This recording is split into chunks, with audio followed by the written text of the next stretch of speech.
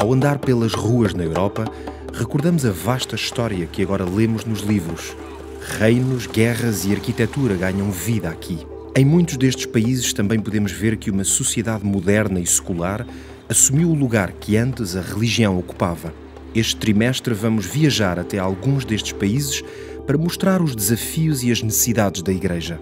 Vamos conhecer pessoas que vivem nesta zona e vamos ouvir as suas histórias. Esta região do mundo era anteriormente conhecida como Divisão Euro-Africana, mas agora chama-se Divisão Inter-Europeia.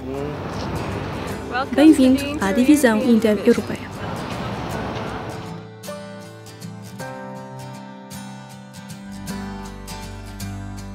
Esta região do mundo está constituída por 20 países.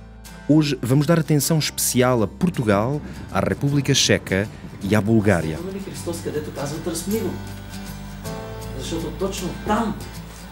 Comecemos por Portugal. Portugal situa-se na ponta ocidental da Europa. É um país costeiro com belos castelos, paisagens pitorescas e animados centros urbanos. Portugal foi outrora uma potência mundial. Exploradores viajaram e estabeleceram colónias na América do Sul, na Ásia, em África e na Índia. O primeiro pastor adventista em Portugal foi Haskell. A Igreja enviou-o em 1889 numa viagem pelo mundo a fim de traçar planos para o futuro trabalho missionário. Atualmente existem mais de 9 mil membros de Igreja em Portugal, que tem uma população de 10 milhões. Aqui, a Igreja está a fazer muitas coisas para partilhar a mensagem adventista com as pessoas. Um dos meios evangelísticos de que dispõem é o estúdio de multimédia, a Digital Way. Este estúdio produz programas destinados a partilhar o amor de Deus. São especialistas na produção de vídeo. Os programas que aqui produzem estão amplamente disponíveis online e têm um forte impacto no público. Mesmo com este grande esforço para levar as pessoas a conhecerem Jesus, ainda existem grandes desafios aqui. António Rodrigues é o presidente da Igreja Adventista do Sétimo Dia em Portugal e conhece bem estes desafios. Como Jesus fazia, um objetivo de nos misturarmos no, com as pessoas, mas sempre com o objetivo, claro, de levar a Cristo àqueles com quem nós contactamos. A abordagem que o pastor António Rodrigues partilha não é nova. É um reflexo do que Jesus fez quando esteve na Terra. Mas, com apenas um adventista para cada mil pessoas, partilhar a mensagem adventista continua a ser um desafio. Ora, por favor, pelas pessoas em Portugal.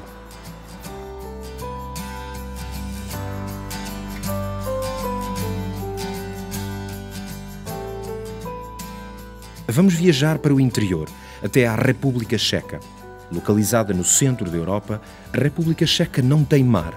Praga, a capital, é bem conhecida por todo o mundo. Espalhados pela cidade encontramos pontos de referência bem reconhecidos, como por exemplo a Câmara Municipal ou a Ponte Carlos. Esta ponte de pedra do século XIV liga os dois lados de Praga. Há 75 estátuas na Ponte Carlos. A arquitetura detalhada atrai aqui milhões de turistas todos os anos.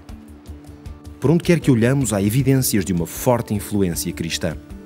Mesmo com antecedentes cristãos tão marcantes, a Igreja Adventista enfrenta desafios numa sociedade moderna.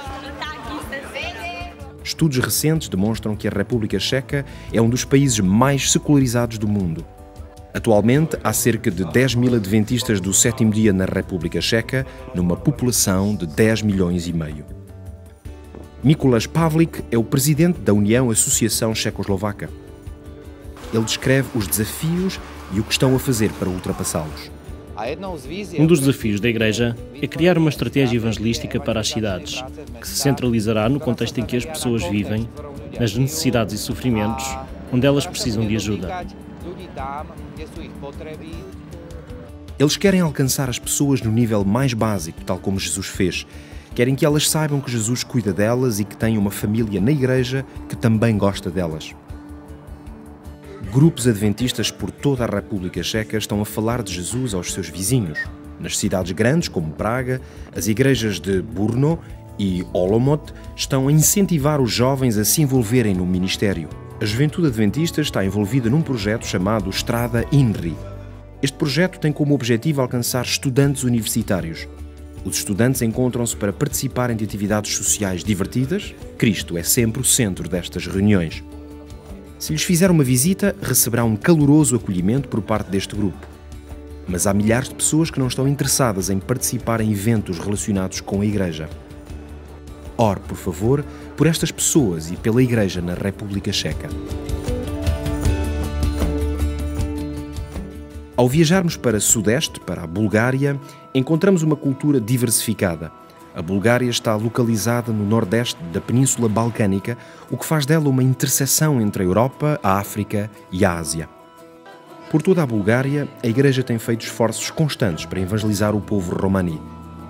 A Bulgária tem muitas comunidades romani, cerca de 400 mil ciganos romani vivem aqui e os números continuam a crescer. Milen Georgiev é o secretário da União Búlgara.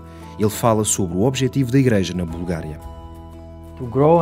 Crescer e espalhar o Evangelho no seio deste grupo étnico.